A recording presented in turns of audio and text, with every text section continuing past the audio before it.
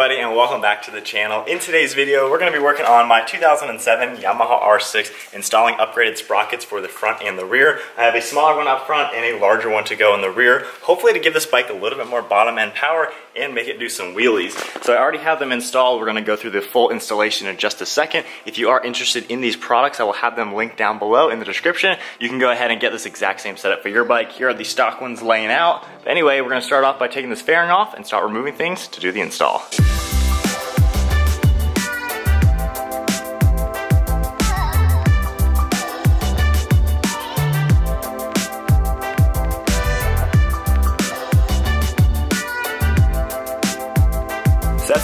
All done. Very simple to get the fairing off as well as the chain guide. This is a 16 tooth sprocket up front, so we're gonna be shaving two teeth off of it. Next up, we now need to remove this bolt right here. I think it's a 30 millimeter socket. I do not have one of them. Biggest I have is like a 21. So I'm just gonna use this, an adjustable wrench. Hopefully I can get enough leverage on there. I'm gonna keep the bike in gear and then we're gonna slam on the rear brake just to really hold everything tight. I don't wanna be turning the gears or anything like that. If you are gonna be using an impact, I would suggest you keep the vehicle in neutral just because the last thing you wanna do is destroy any gears. Hopefully everything goes smooth. Hopefully it's not on too tight and I have enough leverage.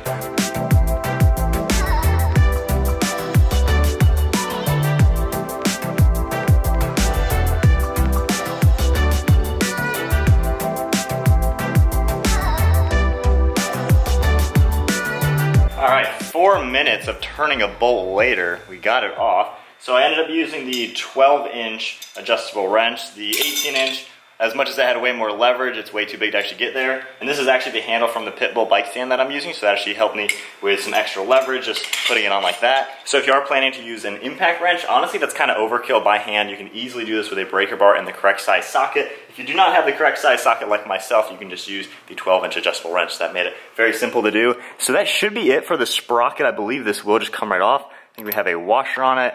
Yep, and then there's the splines that hold it all in place. So for this, I'm gonna go back to the 18 inch. I think that should give me enough leverage to get this. And again, a socket is way better, but I just don't have anything that big.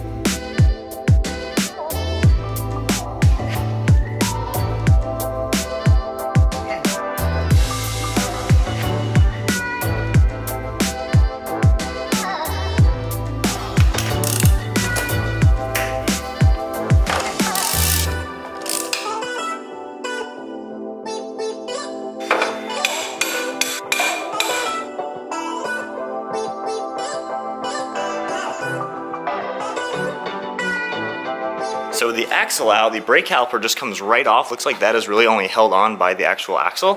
Wheel is sitting freely. The sprocket and chain are obviously still attached, but now we have a ton of slack.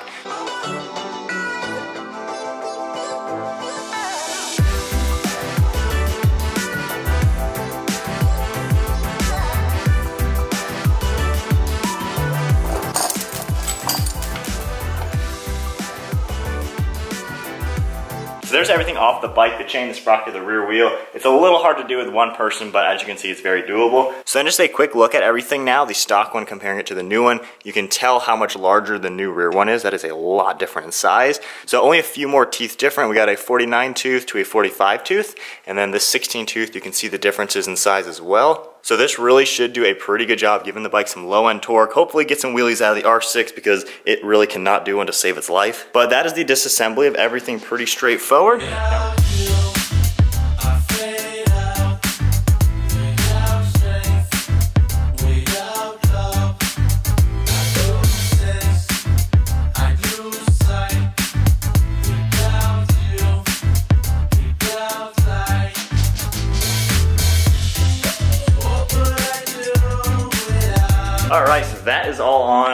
Kind of a tricky thing to do. I think the chain is a little bit tighter than normal. Uh, we'll just have to adjust it a little bit. Definitely helps having a second set of hands for the rear wheel assembly. This one's very easy to put back on. As you saw, I went ahead and put the chain on this new sprocket first, and then we just lifted the wheel up, putting the caliper in place first, and then with the wheel in place, sliding the axle through.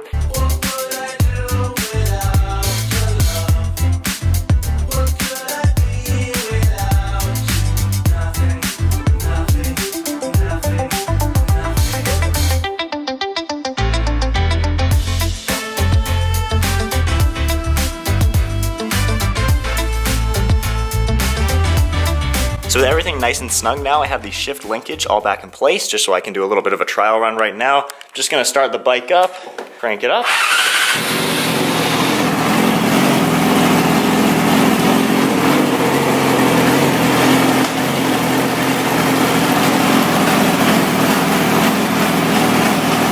So with a good trial run down, I'm gonna go ahead and tighten all the bolts one last time just to make sure everything is torqued to spec, put it back together, and then go for a ride.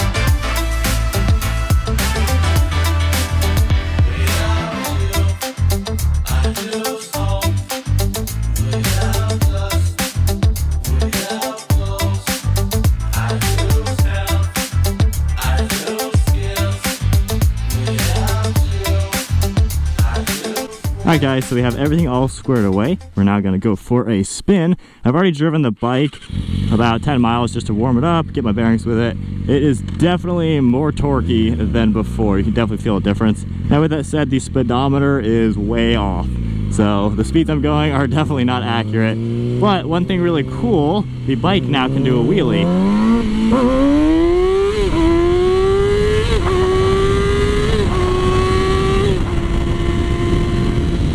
That says 100 miles an hour. I am not going 100. this might be like 60 miles an hour. So as you can see, the speedometer is definitely way off. I'm not going anymore. but as you saw with that acceleration, this thing rips through the gears now. Sixth gear, there's a lot of torque down low, like around 6,000 RPM. Fifth gear now, it really carries itself. And again, that is not 100 miles an hour. There is no way. So we'll try another wheelie again. So first gear, just giving it some gas.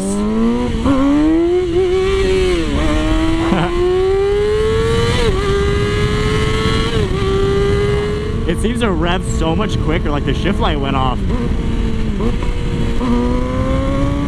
So much torque down low. Now, as far as drawbacks, um, it is definitely at a much higher RPM when cruising. So again, the speedometer, we're not going 74. We're going, this has got to be about 55, 60. And we're up at 7,000 RPM. So we're definitely at a higher RPM cruising. So as far as gas mileage is going to go, this is definitely less efficient. I do get about 150 miles on a tank.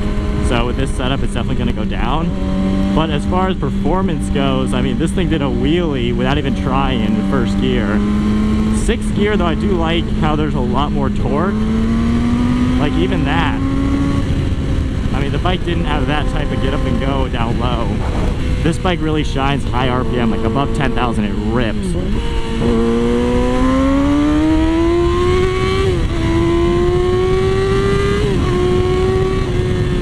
but now it seems like way down below 10,000 it actually seems to pull. So let's do just a first gear pull. Because I feel like that's a lot of the weak points. Like when I'm first getting into traffic on a normal road or something like that. So let's say I'm getting up to speed oh getting into traffic.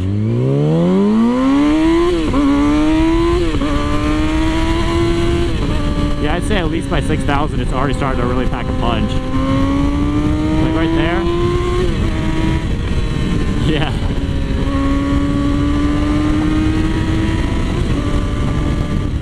Yeah, this thing is definitely got a lot more power. So that's probably about a 70 mile an hour pull right there. But I do like how this thing can now do a wheelie. Not that I do that a lot on a sport bike like this. I might say that for like dirt biking. But it is fun every now and then if you're just having some fun with the bike.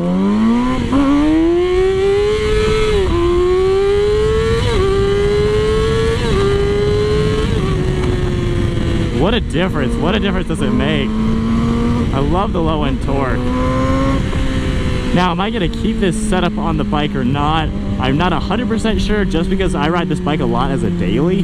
So I don't know if the higher RPM when cruising is gonna be worthwhile. So let's see in second gear, cruising, so 6,000 RPM.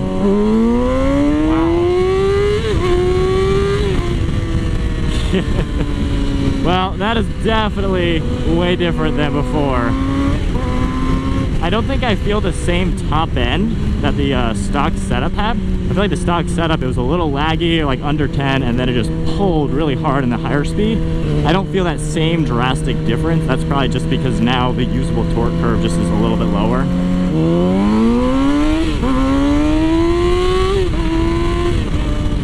Alright, so that's probably about 60 right there. Um, but yeah, that definitely is better. So I think my overall opinion and review, I might swap out just the rear sprocket to the stock one. So that at least give me a really good blend of a little bit better torque, but a more accurate speedometer as well as less highway cruising. So right now we're going like maybe 55, 60, and it's definitely at a higher RPM. Normally I should be around 5,000 RPM. So for my daily type driving with this bike, this might be a little bit too aggressive. I mean, right now this is I mean, this is pretty high in the RPM for cruising. But as far as the fun factor goes, if you are going to do this setup for more racing or more performance-oriented riding, I mean, this is a powerful setup. Definitely very usable torque. So third gear. And that gets up and goes. And it almost feels like the front wheel is like off the ground doing that. It really pulls. Even just that, I don't know if you can see my body moving but that is some torque. And then we'll do one last wheelie because I have never been able to wheelie on this bike.